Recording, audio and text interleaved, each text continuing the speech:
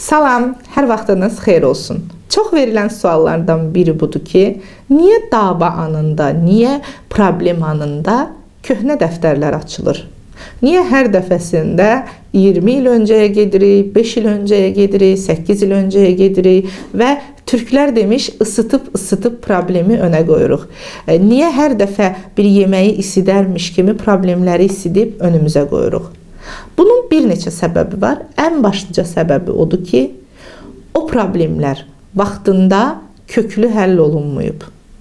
Xəta qəbul edilməyib, xətanın üzrü yerində yerinə yetirilməyib və bu sizdə travma kimi qalıb. 2. Ola bilər ki, indi sizdən hansısa bir haqqı tələb edən bir insanı susturmaq üçün onun keçmiş xətalarını onun üzünə vurursunuz. Ola bilər ki, siz tətmin olunmamısınız. Məsələn, tutaq ki, həyat yoldaşınız sizə xəyanət edib, siz bu xəyanəti bilmisiniz, ailənizdə problemlər yaşanıb, amma sizə bir bədəl ödənməyib, maddi və ya mənəvi olsun, fərqi yoxdur. Siz o günahkarlıq hissindən dolayı tətmin olunmamısınız. Bu problemləri nəzərə alaraq keçmiş həmişə bizim bu günümüzlə yaşayır. Burdan ailələrə belə bir söz e, deyə bilərik. Əgər hər dəfə keçmişə yönəlik yaşayırsınızsa, deməli siz anda qala bilən insan deyilsiniz. Fərqindəliklə yaşayan insan deyilsiniz və fərqindəliklə yaşamadığınız müddətcə, fərqindəlikdə olmadığınız müddətcə siz xoşbəxt olmayacaqsınız. Əvvəla bunu deyək ki, xoşbəxtlik bir seçimdir. Xoşbəxtlik yeni bir dil kimidir. Onu öyrənmək çətin, amma yaddaşımıza qazındıqda ondan çəkinmək çox çətindir. Xoşbəxtliyi addım-addım, xoşbəxtliyi məqam-məqam yaşamaq lazımdır. Yəni xoşbəxtlik deyəndə ancaq hansısa bir maddi maddi şeylər, ev, maşın, pul kimi yox və yaxud ancaq mənəvi şeylər, övladıma olan sevgi və s. yox.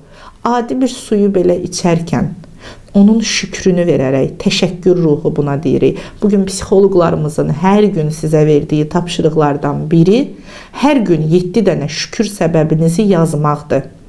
Baxın burada bir diqqət edin. Demək yox, yazmaq. Çünki biz dediyimiz zaman nələrisə unuda bilirik. Amma biz balaca bir bloknot tutsaq, hər gün ora 7 ədəd şükür səbəbimizi yazsaq, hardasa bir 10 gündən sonra şükür səbəblərimizin azaldığını düşündəndə, beynimiz yeni şükür səbəbləri axtarmağa başlayanda biz xoşbəxtliyi öyrənməyə başlayırıq. Xoşbəxtlik bir təbiətdə torpağın iyini hiss etmək qədər yaxındır bizə. Sadəcə biz bunu əzbərimizə çevirməliyik. Bizim əzbərimizdə bu yoxdur ki, biz xoşbəxt olaq, biz xoşbəxtliyi yaşayaq. Bizə bu öyrədilməyib.